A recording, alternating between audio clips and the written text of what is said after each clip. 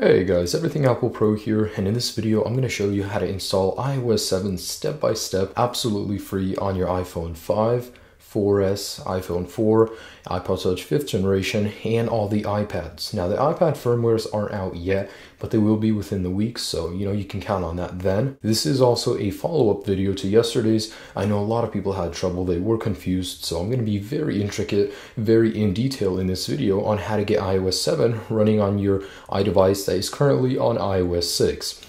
Now, no, you do not need a UDID registered in order to update to iOS 7. You can do it. However, once you are on iOS 7, you cannot restore. Otherwise, you will be forced to register your UDID. Now, yes, you can downgrade back to iOS 6 in case you do not like it. As long as Apple is still registering iOS 6, which it will be until the release of iOS 7, you can always downgrade back to iOS 6. So, no worries about that. You will not lose any data if you follow the process and update as I show you. You do not restore to iOS 7. That's the trick in it, guys. That's what makes you not have to pay the money in order to register your UDID. Now, here's my iPhone 5. This is my personal iPhone, and I'm just gonna go ahead and show you that I can update. My UDID was not registered on this phone. I did not go ahead and pay for this phone at all within the last year, and it does have all of my stuff. So I will show you that it does preserve everything that you do have on your iPhone. Go ahead and plug it into your computer and pop open iTunes. Now, first off, we do need to download iOS 7. And to do this currently,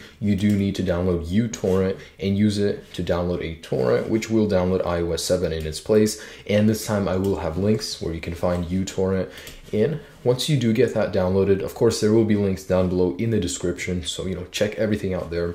Once you do have it downloaded, go ahead and open up iTunes. Now, with your iPhone connected, this is the trick, guys. You have to hold Option on your Mac keyboard and left click check for update or update, or if you're on Windows, hold shift. Now, do not, and I repeat, do not press restore. If you restore to iOS 7 without registering your UDID, this will fail, and you guys will have to end up paying that money anyways. So this is the trick how you get it for free. Hold option, I'm on a Mac, and I'm gonna left click update and select iOS 7.0. So here goes the process. As you guys can see, you know, you will update successfully. However, once it is done, I will go ahead and show you that my iPhone will be running iOS 7. Now, while this is restoring, I just wanted to go ahead and show you that you guys do need to download your iOS 7 specific device firmware. Now, I don't know if you guys can see that, but over here it will say your model number of your iPhone 5. This one is an A1429 model. So when downloading your iOS 7 firmware, make sure you get it specific to the model number of your iPhone 5. And you only need to check on an iPhone 5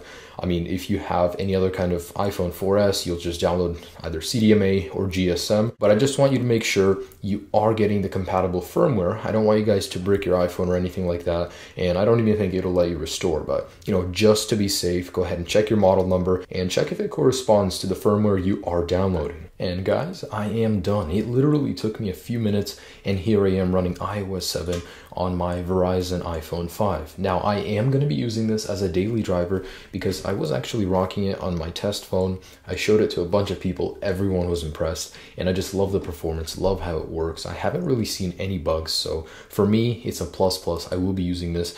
And no, I did not register my UDID. I did this absolutely for free and all of my apps, everything is still there. So you will not lose anything yes, it is absolutely free. And if you wish, you can always go down to iOS 6 before the fall release. So I just wanted you guys to know that. I do hope this detailed video did help you guys, you know, get iOS 7 and show off to your friends. Um, anyways, enjoy iOS 7. It is a magnificent software. Have a great day, guys. Peace.